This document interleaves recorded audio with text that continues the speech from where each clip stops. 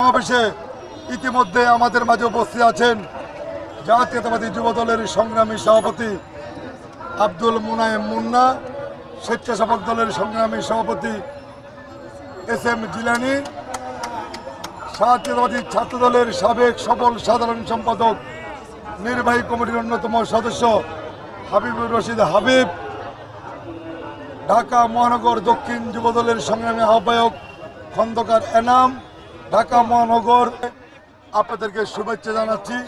আপনাদেরকে এই নতুন স্বাধীন বাংলাদেশ সেই বাংলাদেশে আপনাদেরকে আমি সুস্বাগতম জানাচ্ছি। দিও না। প্রিয় বন্ধুরা দেশ নায়ক তারেক রহমানের নির্দেশ সন্ত্রাস মুক্ত হবে সারা বাংলাদেশ। দেশ নায়ক তারেক রহমানের নির্দেশ চাঁদাবাজ মুক্ত হবে সারা বাংলাদেশ। দখল মুক্ত হবে। দখল মুক্ত হবে সারা বাংলাদেশ। এই স্লোগানকে বুকে ধারণ করে গণহত্যাকারী শেখ হাসিনার ফাঁসির দাবিতে আজকে আমরা রাজপথে বিক্ষোভ করছি।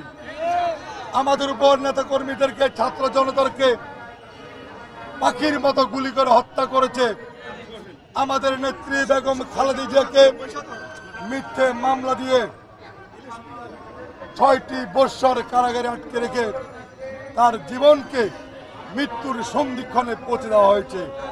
তারেক রহমানকে একের পর এক মিথ্যা মামলা দিয়ে তিনি যাতে বাংলাদেশে আসতে না পারেন, সেই অপচেষ্টা করছে। আমরা বলতে চাই, আজকে ছাত্র জনতা ঐক্যবদ্ধ হয়েছে। ঐক্যবদ্ধ আন্দোলনের মধ্য দিয়ে এদের পতন হয়েছে।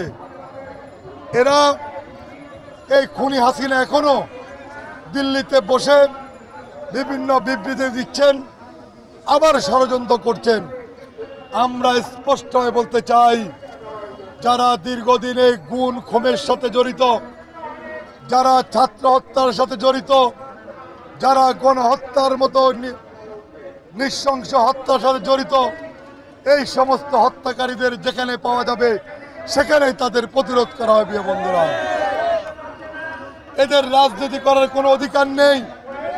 যারা সরাসরি মানুষ হত্যা করে, গণহত্যা করে, এদের রাজনীতি করার কোনো অধিকার নেই।